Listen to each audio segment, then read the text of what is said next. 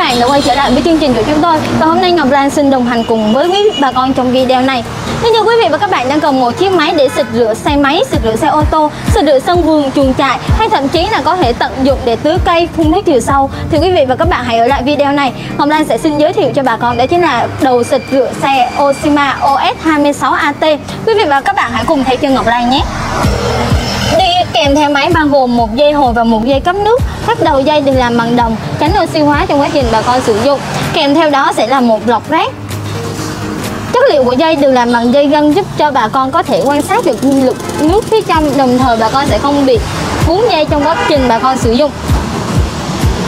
Đây chính là đầu xịt rửa Oshima OS 26AT Đầu được làm bằng đồng khá là chắc chắn. Trên đầu sẽ có hai khóa van bi Bà con có thể tận dụng, sử dụng được một nguồn nước ra hoặc là hai nguồn nước ra đều được. Một van chỉnh áp.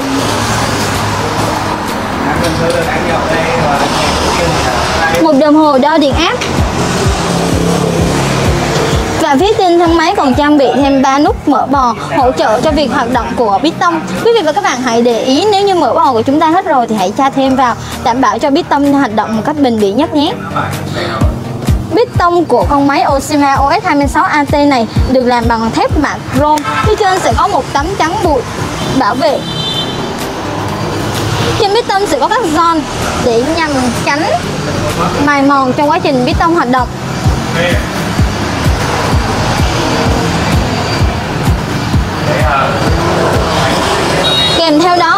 một nút chai nhớt. Nút chai nhớt này bà con để ý tầm khoảng 3 tháng bà con hãy thay nhớt một lần. Hoặc khi chai nhớt, bà con cần phải lưu ý một số những điều sau. Bà con cần phải quan sát mắt nhớt ở phía sau để nhớt ở mức 1 phần 2 mắt nhớt là bà con có thể sử dụng được rồi. Không để tình trạng nhớt sẽ bị tràn ra ngoài hoặc là bị hư hại máy. Bu ly của máy là bu ly ba cánh. Bao thân máy được đặt trên một chân kê khá là chắc chắn tránh rung lắc trong quá trình bà con hoạt động và vừa rồi Ngọc Lan vừa giới thiệu cho bà con đây chính là con máy Oshima OS26AT Con máy này với công suất là 1 HP Lưu lượng nước là từ 13 đến 22 lít trên phút Và áp lực nước từ 21 đến 45 nếu như quý vị và các bạn muốn sở hữu con máy này, hãy liên hệ với chúng tôi qua số điện thoại hoặc website của chúng tôi để được tư vấn nhiệt tình hơn nhé. Xin chào và hẹn gặp lại quý vị và các bạn trong những video sau.